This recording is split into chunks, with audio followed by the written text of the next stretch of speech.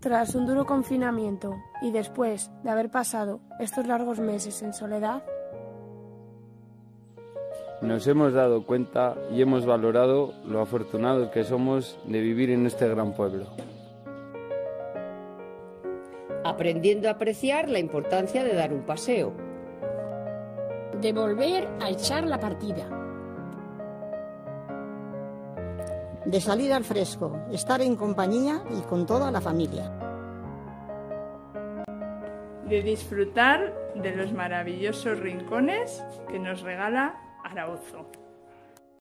Y sobre todo detenernos los unos a los otros. Y darnos cuenta de que solo somos pueblo si todos colaboramos.